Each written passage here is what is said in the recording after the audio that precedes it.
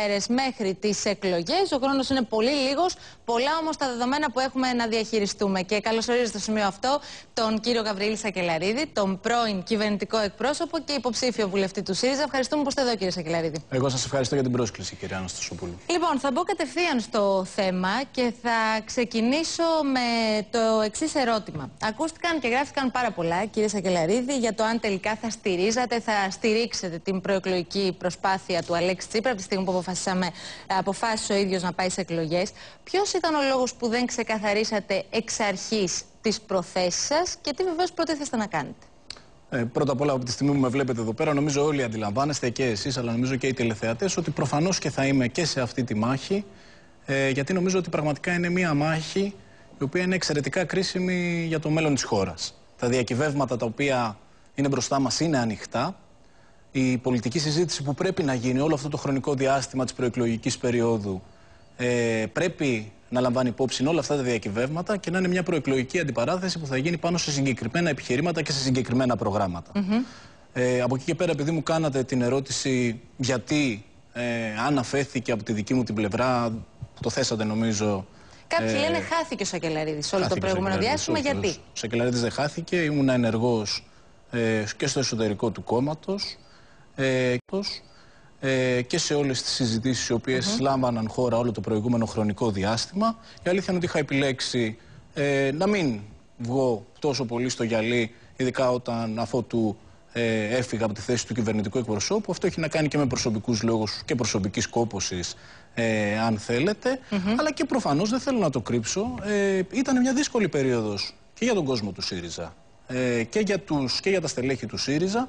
Ξέρετε, για όλους εμάς ε, που δώσαμε μάχη και στο, και στο επίπεδο της κυβέρνησης στο προηγούμενο χρονικό διάστημα, ε, η περίοδος και της διάσπασης αλλά και η περίοδος ε, της κατάληξης της συμφωνίας ήταν μια περίοδος η οποία μας έδωσε τη δυνατότητα και να συζητήσουμε και να αναστοχαστούμε και να μπορέσουμε να προγραμματίσουμε και το επόμενο χρονικό διάστημα. Ήταν μια περίοδος η οποία ήταν πάρα πολύ δημιουργική και για μένα, αλλά νομίζω και για ε, πολύ κόσμο από την πλευρά του ΣΥΡΙΖΑ. Που αφήνει πολλές πληγές, βέβαια, κύριε Σακελαρίδη, θα το συζητήσουμε και αυτό. Πάντως, επειδή αναφερθήκατε στον ανασχηματισμό που ουσιαστικά έγινε λίγο πριν τη συμφωνία, α, συζητήθηκε αρκετά, αρκετά το ότι δεν πήρατε κάποιο υψηλόβαθμο, ας πούμε, κυβερνητικό πόστο όπως όλοι ανέμεναν, αλλά αναλάβατε τη θέση του κοινοβουλευτικού εκπροσώπου του κόμματος. Αυτή ήταν απόφαση του ίδιου του Πρωθυπουργού ή δική σας; Ήταν απόφαση, νομίζω, που τη λάβαμε μαζί με τον Πρωθυπουργό.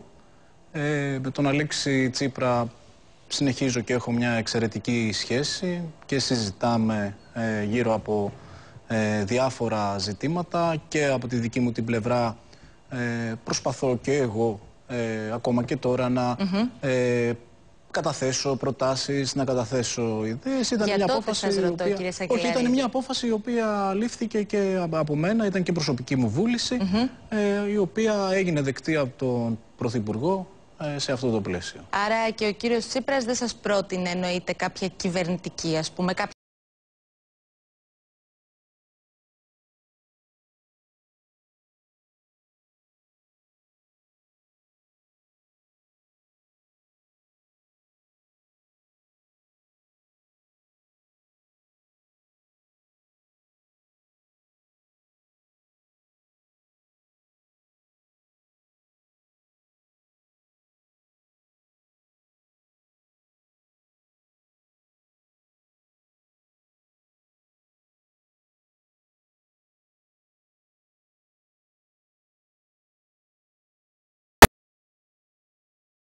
κοινωνία και για τη χώρα. Ε, οι, όλοι μας ε, πρέπει να δώσουμε ε, αυτή τη μάχη γιατί είναι πάρα πολλά ζητήματα ακόμη ανοιχτά. Γιατί η μάχη ε, για την ε, κυβέρνηση, την απερχόμενη κυβέρνηση σε καμία περίπτωση δεν έχει χαθεί. Αντιθέτως υπάρχει έδαφος μπροστά μας κάτω από συγκεκριμένες δυσκολίες, πολύ σαφείς δυσκολίες ε, να δοθεί αυτή η μάχη και σε αυτό ακριβώς αν μου επιτρέπετε και μου δίνετε την ευκαιρία κυρία Αναστασοπούλου να απευθυνθώ και σε, όλο το, και σε όλο τον κόσμο ο οποίος όλο το προηγούμενο χρονικό διάστημα στήριξε τον ΣΥΡΙΖΑ ε, είτε ήταν απλοί ψηφοφόροι, είτε ήταν απλά μέλη, ήταν στελέχη του κόμματος να δώσουμε αυτή τη μάχη συσπηρωμένη για να μπορέσουμε να δικαιώσουμε τις ελπίδες της ελληνικής κοινωνίας και να απαντήσουμε στους φόβους, τις ανησυχίες και τα προβλήματα που αντιμετωπίζουμε. Ένας κόσμος, ο οποίος, κύριε Σακελαρίδη, είναι ιδιαίτερος απογοητευμένος. Το δείχνουν και οι πρώτες μετρήσεις, γιατί αυτή τη στιγμή μιλάμε πάνω στα στοιχεία των δημοσκοπήσεων. Θα έρθουμε και σε αυτό στη συνέχεια. Και θέλω να σας ρωτήσω, με το χέρι στην καρδιά να μου πείτε, αν θεωρείτε πως προεκλογικά υπερβάλλατε. Δηλαδή, αν είχατε την ευκαιρία τώρα, είναι πολύ ανθρώπινη ερώτηση, να γυρίσετε το χρόνο πίσω. Προεκλογικά λέγατε το Γενάρη. Εννοώ, ναι, ναι, ναι, πριν τις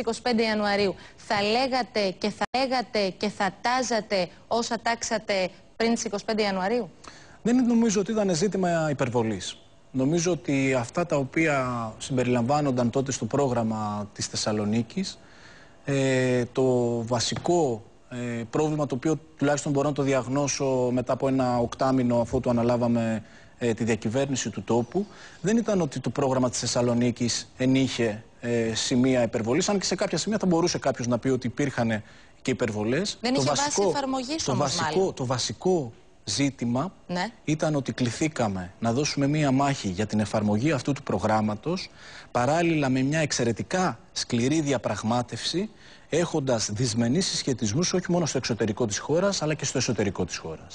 Και ε... αυτός ήταν ο βασικός παράγοντας αν θέλετε που ε, αυτή η προσπάθειά μας να υλοποιήσουμε ταυτόχρονα και την, ε, μια πάρα πολύ σκληρή διαπραγμάτευση αλλά ταυτόχρονα και να εφαρμόσουμε κάποια από τα σημεία, πολλά μάλλον από τα σημεία του προγράμματος της Θεσσαλονίκης, ενδεχομένως να μην δημιούργησε, να μην κατέληξε σε αυτό το οποίο επιθυμούσαμε. Παρ' όλα αυτά όμως θα ήθελα να τονίσω. Είναι, έχει τεράστια απόσταση, κύριε Σακελαρίδη, θα μου επιτρέψετε να, πω. Θέλω... Απλά να πω αυτό και θα ολοκληρώσετε βεβαίως. Απλά α, από το. Όχι, δεν θα πω εγώ το σκίζω τα μνημόνια. Καταργώ το μνημόνιο με ένα άρθρο, ένα νόμο και ούτω καθεξής. Αυτή τη στιγμή έχετε έρθει σε μια θέση που ουσιαστικά πρέπει να ασκήσετε ένα πρόγραμμα ελπίδας. Γιατί κάποιοι είχαν στηρίξει τις τελευταίες τους ελπίδες των ΣΥΡΙΖΑ στις 25 Ιανουαρίου και το ξέρετε πολύ καλύτερα από μένα.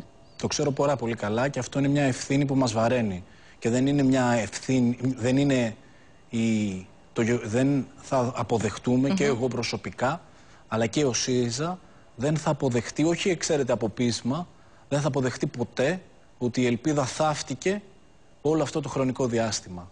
Αντιθέτως, και θέλω να, επειδή για να μιλήσουμε λίγο και για ναι, την ναι. ουσία ε, της πολιτικής και της διακυβέρνησης. Αν αφήσουμε λίγο στην άκρη τη διαπραγμάτευση, να συζητήσουμε όσο θέλετε και για τη διαπραγμάτευση. Αν μιλήσουμε για την ουσία της διακυβέρνησης του ΣΥΡΙΖΑ αυτούς τους 7 μήνες, θα δείτε όμω ότι τελικά, εν τέλει, κάτω από πάρα πολύ σκληρές δυσκολίες που κληθήκαμε να αντιμετωπίσουμε, τις οποίες τις γνωρίζετε όλοι και όλες πάρα πολύ καλά, καταφέραμε ένα κομμάτι από το πρόγραμμα της Θεσσαλονίκης να το υλοποιήσουμε. Μπορώ να σας πω πολύ συγκεκριμένα πολύ πράγματα. Πολύ μικρό κομμάτι, κύριε Να σας απαντήσω.